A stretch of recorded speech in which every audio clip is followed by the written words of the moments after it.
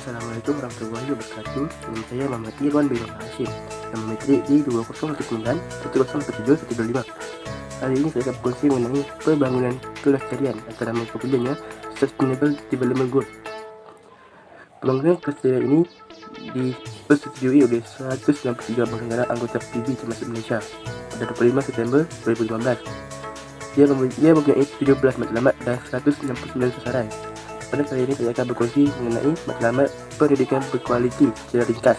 Secara ringkasnya, untuk mencapai matlamat pendidikan berkualiti, pihak kerajaan dan bersama-sama masyarakat perlulah mengambil langkah dan usaha. Yang pertama, usaha yang pertama yang dilakukan ialah menyediakan dan menetralkan infrastruktur dan kemudahan pembelajaran kepada para pelajar dan tenaga pengajar.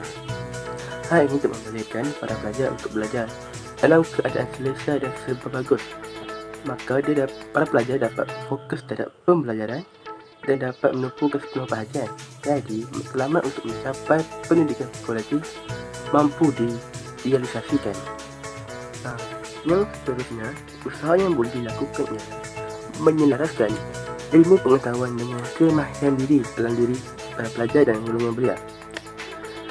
Hal ini disebabkan pada masa sekarang kebanyakan majikan akan mengambil pekerja baru yang berpotensi yang terdiri daripada ilmu pengetahuan dan kemahiran diri.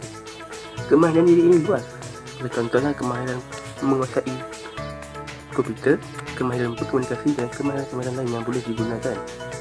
Jadi, pihak Kementerian Pendidikan hendaklah menyelaraskan ilmu pengetahuan dengan dengan kemahiran-kemahiran yang boleh dicurahkan kepada para pelajar. Jadi, dia mampu memberi peluang yang cerah kepada para pelajar selepas tamat pembelajaran.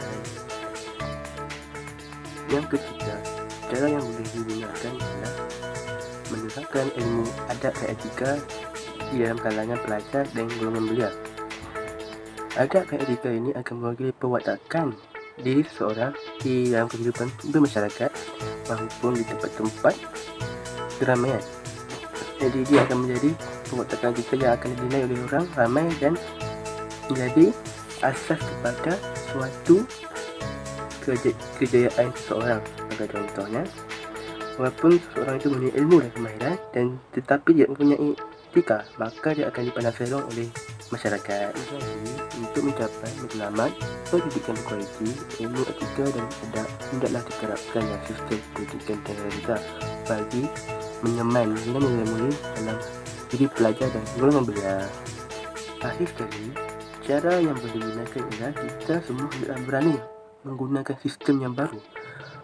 Seperti yang kita lihat sekarang, pada tahun ini, setelah negara kita dilanda pandemik COVID-19, sistem pendidikan secara terantagan telah diperkenalkan secara meluas bagi menggantikan pendidikan di dalam bilik dajah dan kuliah.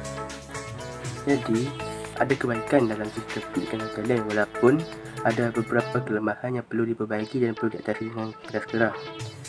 Dengan adanya sistem pendidikan kalian ini, dia dapat melatih diri pelajar maupun tenaga pengajar maupun tenaga pengajar itu sendiri bagi memahirkan diri dalam penggunaan teknologi seperti contoh komputer dan penggunaan aplikasi-aplikasi yang disediakan seperti Google Meet dan kesimpulan yang boleh dibuat Usaha-usaha yang telah dirancang oleh pihak kerajaan ini hendaklah dilakukan bersama-sama dan bukan hanya berharap kepada pihak kerajaan sahaja ia kerana usaha-usaha ini memerlukan kerjasama dari semua pihak terutamanya daripada Kementerian Pendidikan, tenaga pengajar dan pelajar terutamanya.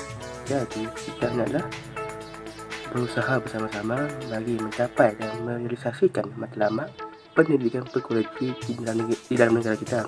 Walaupun dia belum mas, mengambil masa yang agak lama sebabkan oleh beberapa halangan dan tekangan seperti yang berlaku sekarang iaitu pandemik COVID-19 walaupun begitu kita hendaklah sama-sama yakin dan bersemangat untuk terus berusaha bagi mencapai matlamat pendidikan berkualiti sekian itu saja daripada saya. Assalamualaikum warahmatullahi wabarakatuh. Terima kasih